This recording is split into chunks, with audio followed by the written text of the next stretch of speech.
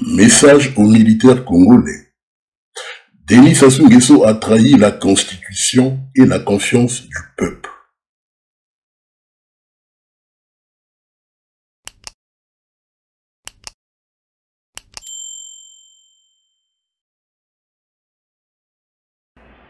Ce message s'adresse essentiellement aux militaires patriotes congolais qui sont conscients de la gravité des faits qui sont reprochés à Denis Sassou Nguesso et sa famille biologique ainsi que politique.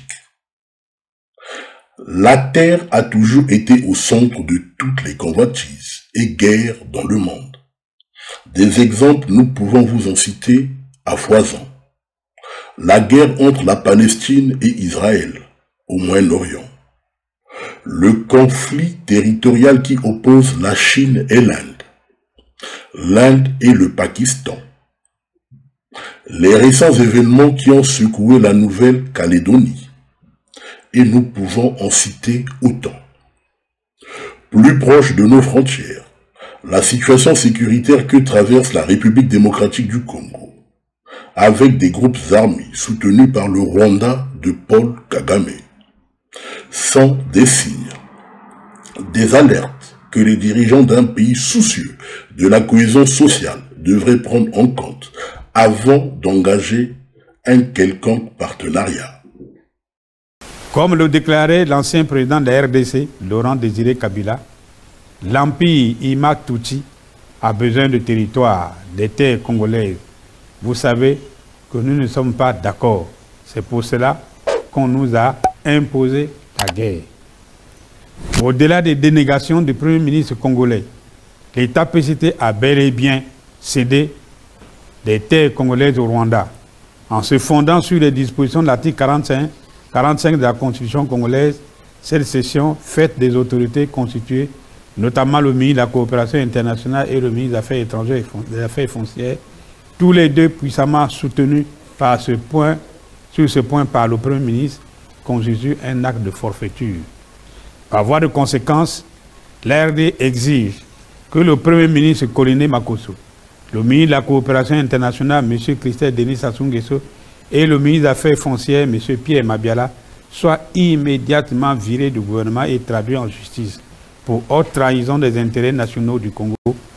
La cession illégale des terres congolaises, notamment dans la partie sud, est d'une gravité sans précédent qu'il ne faut plus se taire. Il s'agit là d'un acte de haute trahison aux conséquences inimaginables à court ou à long terme. Lorsque l'on analyse le caractère belliqueux et criminel de Paul Kagame dans la sous-région, je m'adresse à vous, militaires congolais, il ne s'agit plus de protéger un homme, mais il s'agit de garantir l'unité nationale. Il s'agit de prévenir des conflits qui pourraient advenir dans le futur avec Paul Kagame. D'autant plus que la télévision nationale rwandaise a affirmé que leur pays avait acquis une enclave en République du Congo. Visité récemment les terres que le Congo-Brazzaville a offertes au Rwanda, des terres plus grandes que la ville de Kigali pour être exploitées. Après cette visite, ils ont décidé d'en faire bon usage en investissant dans des activités agricoles qui incluent l'élevage en prenant note de la fertilité de ces terres. Patrick Nividandins en fait le point. Entre le 4 et le 8 mars de cette année, certains membres du secteur privé euh, du Rwanda ont visité le Congo-Brazzaville et ont découvert les deux terrains qui appartiennent désormais au Rwanda avec une superficie combinée de 980 km carrés. Nous voulons être le premier à commencer à faire des affaires au Congo-Brazzaville en tant qu'entreprise Sinagérard et nous croyons que nous pouvons y cultiver et transformer du piment pour pouvoir vendre dans la région et profiter des ports pour l'exportation à tel point que nous pourrons envoyer ces piments vers le Rwanda.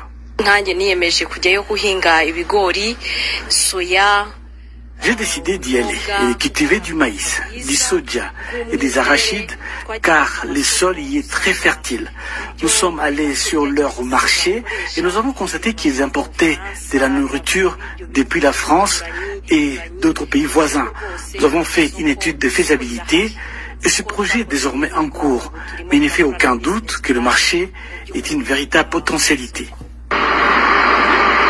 Cette initiative a été déclenchée par une visite effectuée par le président Paul Kagame au Congo-Brazzaville au mois d'avril il y a deux ans. Suite à cette visite, par réciprocité, le président Denis Sassou Nguesso du Congo-Brazzaville avait visité le Rwanda en juillet de l'année suivante. Le monde des affaires au Congo-Brazzaville nous a réservé un accueil chaleureux et s'est dit impatient de travailler avec nous pour satisfaire le marché local.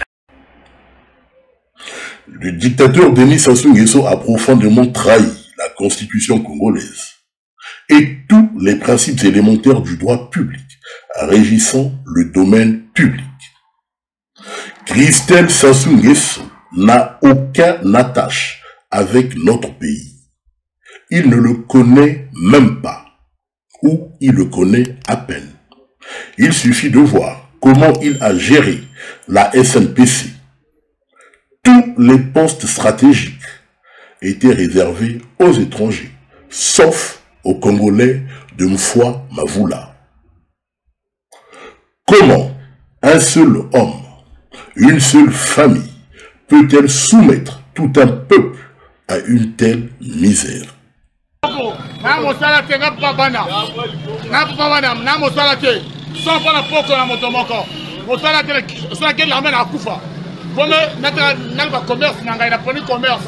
Nga poni commerce nga. Commerce nanga bapoko pardon na bino mosala kongo ya te papa na moto to ayoka ngo mosala kongo ya te nga pome nataka bapoko na nga so afani nalesata mwasi nanga na bana. Nanga sali bana. Vraiment bakende na katula même voisine abi tana place mosi ya ni pe ba kaplem lango nyonso to ba kaba na banka donc me bayimvanda na babilanga banguba nyonso mekwena bon ya bangubi na vunke vembota bongo mwe pe moka mona koyenda ve na kue tala babilanga ngo afaso misa mo me talaka na ele amo mosi faso basalaka ni mezonga ya bakake mo za ave konse bake na wana deshuche teke baiti dobe ti za ave si ti ya banguba ye na bake katula yebe ti za ave D'accord.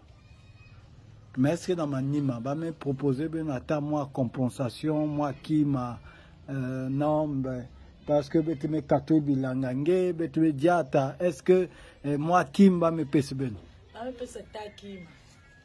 Ah, va me pese ta qui ma.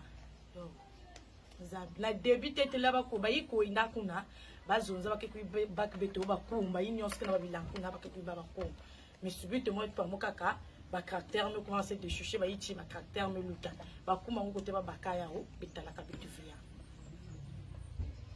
D'accord. Merci. Aux militaires patriotes congolais, lorsque la constitution est violée, les démocrates ne doivent pas l'accepter. Ce sont les paroles du dictateur Denis Sassou Nguesso après son coup de forfait en juin 1997. Le peuple vous regarde. N'ayez pas peur. Denis Sassou Nguesso ne va pas tuer tous les Congolais. Le Congo n'est pas une propriété familiale ou un legs que son père ou son grand-père l'avait donné. Le peuple vous regarde. N'ayez pas peur. La démocratie prévaudra dans notre beau pays. Une décision suffit pour changer le cours de l'histoire. Aux militaires patriotes congolais, le peuple vous regarde. Donc, ne misez plus sur ces schémas-là de dire après ça sera encore un Sassou Nguesso, et donc on sera encore protégé, et donc on continuera à mater, à écraser les autres Congolais. Ça, je le dis en Boshi, parce que vraiment, je, crains beaucoup, beaucoup, beaucoup, beaucoup pour l'avenir, hein, euh, euh, parce que je ne vois pas comment tout ce que Sassou a pu faire là pourra continuer comme ça, à l'infini, génération après génération. Donc, fin de fin, les Congolais vont se coaliser contre les Mouchis, et nous resterons de vivre ce que nous avons vécu au Rwanda, c'est-à-dire un génocide contre les Mboshi, parce que déjà ils sont minoritaires au Congo. Vous voyez? Et là, je le dis, ne voyez plus le nord, le sud. Hein? Il faut voir vraiment tout le Congo contre les Mboshi. Parce que ce n'est pas possible ce que Sassou a fait. Ce n'est pas possible, ce n'est pas acceptable. Dans aucun pays au monde, aujourd'hui, nous avons ce qui se passe au Congo. Tout appartient aux Mboshi. Tout, absolument tout. Parce que même les armes de l'armée, c'est pour les Mboshi. Les autres militaires n'ont pas accès aux armes. À 700 et quelques kilomètres carrés. Donc vous comprenez par là que l'heure est grave. Et ce qui pose problème aujourd'hui, c'est quoi? Si on parle de cession des terres, l'article 219 de notre Constitution est clair. Nulle cession ne peut se faire, ne peut avoir lieu sans que le peuple se prononce par voie de référendum. Ça, c'est le premier point. Donc, ça veut tout simplement dire qu'on ne peut pas parler de cession aujourd'hui parce qu'il n'y a pas eu référendum. Deuxièmement, toujours dans notre Constitution, il est dit dans l'article 44 que tout acte qui prive le peuple congolais d'une partie de son existence, c'est un acte illégal, c'est perçu comme un crime. Voilà pourquoi dans la Constitution, on parle de crime de haute trahison. Donc aujourd'hui, les représentants du peuple, qui sont les députés, n'ont pas accès aux accords. Mais ce sont des accords illégaux. Ce sont des accords qui cachent quelque chose. Deuxièmement, ces accords sont illégaux parce que ces accords ne sont pas passés par le Parlement. Voilà pourquoi aujourd'hui, c'est vrai, nous tirons les sonnettes d'alarme, mais je ne m'inquiète pas, parce que je connais le peuple congolais. Le peuple congolais a chassé Fulbert Hulon en 63. Je connais ce peuple. Ce peuple va chasser Denis Sassou Nguesso s'il décide de foncer dans un chemin qui aujourd'hui pose problème aux Congolais.